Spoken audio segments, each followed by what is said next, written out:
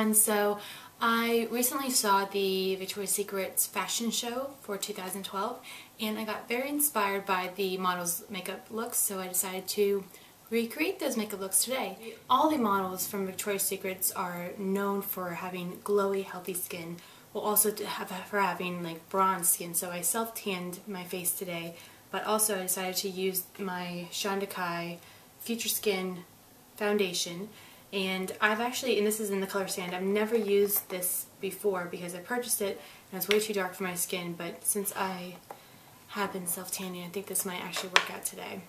And it really will give me that kind of glowing, perfect, beautiful skin look.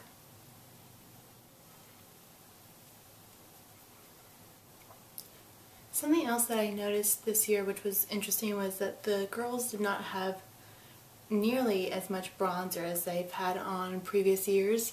They definitely still were tanned, but they weren't like super bronzed up like they have been before. Next, to cover up any blemishes that I have, I'm going to use my MAC uh, Studio Finish Concealer in NW25. I'm just going to be using these for my blemishes, not for under eyes. Now for my under eyes, I'm going to use two different types of concealers. I'm going to use my MAC Studio Sculpt Concealer in NW20. This is just a better kind of under eyes shadow. It's it just really is creamy yet and holds in place very well. And this is also a lighter color than my Studio Finish, so it's better for under the eyes. The Victoria's Secret models are known for having very healthy, hydrated, plump skin, so we want to make sure that our eyes don't look very tired at all. Next I'm going to use my Rimmel Wake Me Up Under Eye Concealer. I'm going to put them in little kind of triangles underneath my eyes because I just really want that part of the face to be really bright. I'm going to use my Real Techniques Deluxe Crease Brush just to blend that in.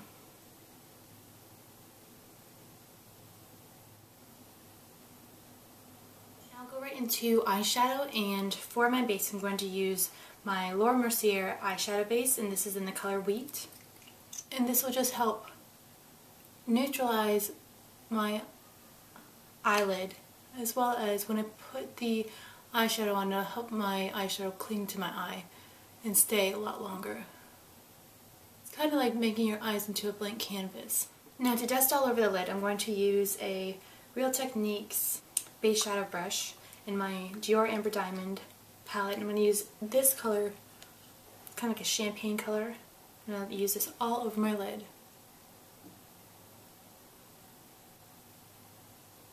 Next I'm going to use my Lorac Starry Eyed Baked Eyeshadow Trio in the color Superstar and I'm going to use this color right here. I'm just going to use it towards the second half of my eyelid. I'm going to use the same brush as before.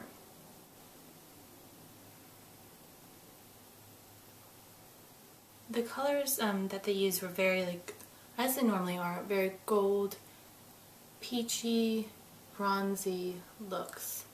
Very glowy, everything. Everything has tons of shimmer in it.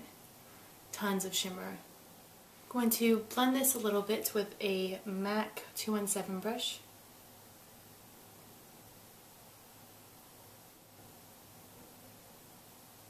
Then I'm going to use a MAC 239 brush in this darkest color right here.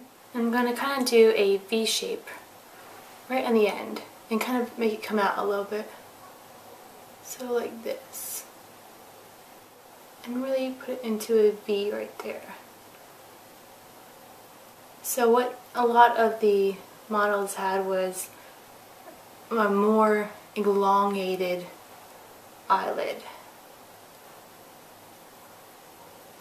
And I'm also going to bring this eyeshadow all the way to my brow. I know it looks a little bit crazy right now, but then I'm going to take the same dark color and mix it with the these two colors mixed together. I'm going to just draw it right below my lash line.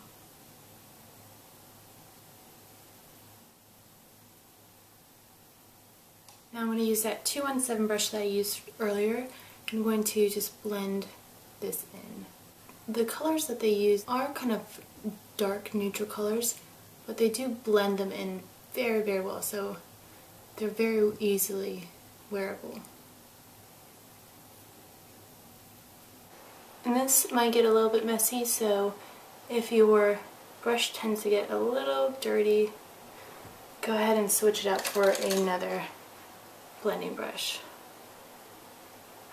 And since we blended it quite a bit in, I want to kind of go back in and redefine the parts that need to be redefined. Now this process is a lot of applying, blending in, reapplying, blending in.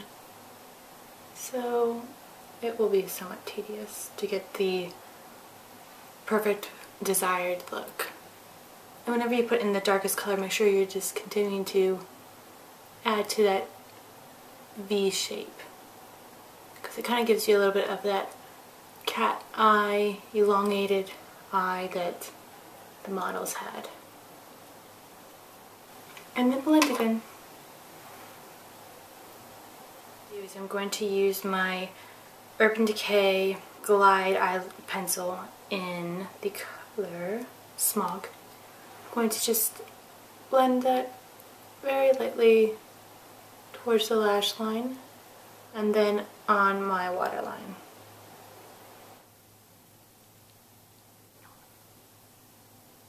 on my upper lash I'm going to use my MAC Eye Kohl Pencil in Smoulder. And this I'm also doing very close to the lash line.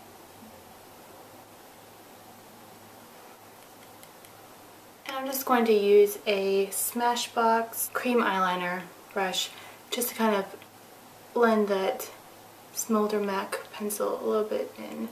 So the next thing I want to do is I want to fill in my brows just a little bit and I'm going to use my uh, Anastasia Brow Wiz pencil and just fill in where there's any gaps.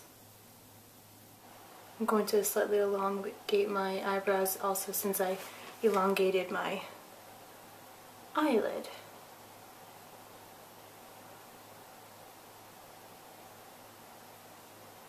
Next I'm going to go back to my Dior Amber Diamond and I'm going to use this lightest color right here in my tear duct area just to brighten it up a little bit. And I'm also going to use the same color on my brow bone.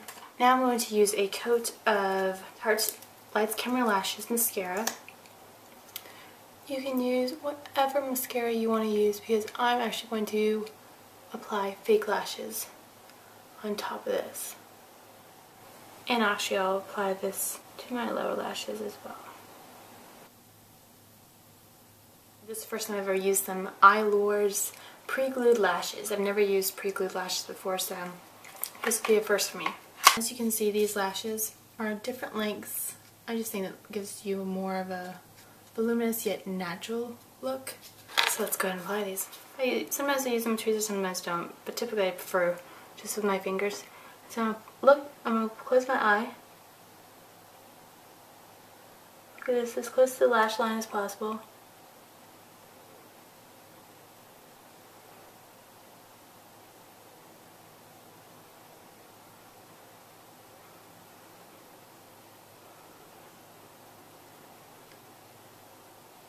I actually think that was pretty easy. And kind of a little bit less mess than with glue.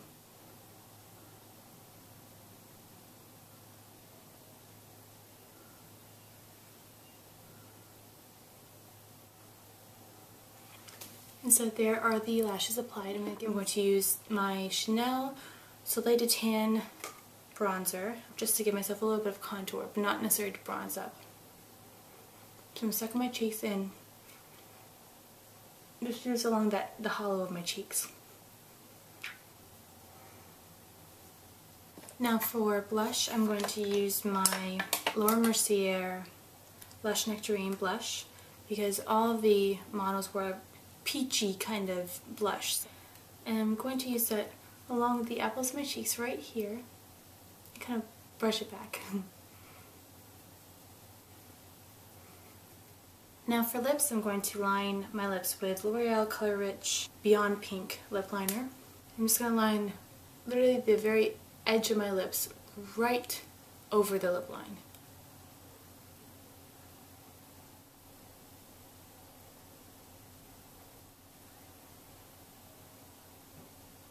Now for their lips, they had, again, a really peachy kind of lip, corally lip, still pink. And so what I'm going to use is my Dior Rouge Dior, and this is in Rare Amber. And how I'm going to use this is I'm going to kind of lightly put it on, then smear it with my lip, or my finger. And then lastly, we do need to add a little bit more glow and shine, so I'm going to use my beloved Jemma Kidd Makeup School highlighter in Ice Gold, and I'm just going to first use it right on my cheekbones and kind of pat it in. A little bit right down the center of my nose. And then I'll use it in two other spots. In my cupid's bow, right here. And that just makes my lips look a little bit bigger. Blend that in. And then I'll use it also on my lips, right in the center. On both the top and bottom lip. So in the end, this is my finished Victoria's Secret Models fashion show makeup look and hopefully you guys enjoyed it. You guys have any comments or questions, please put them in the comment bar below. And if you have any questions or inquiries about any of the products I used today, go ahead and look below and I'll go ahead and add in the um, product names as well as a link to where you can get them. Um, and have a wonderful day and thank you guys so much for watching.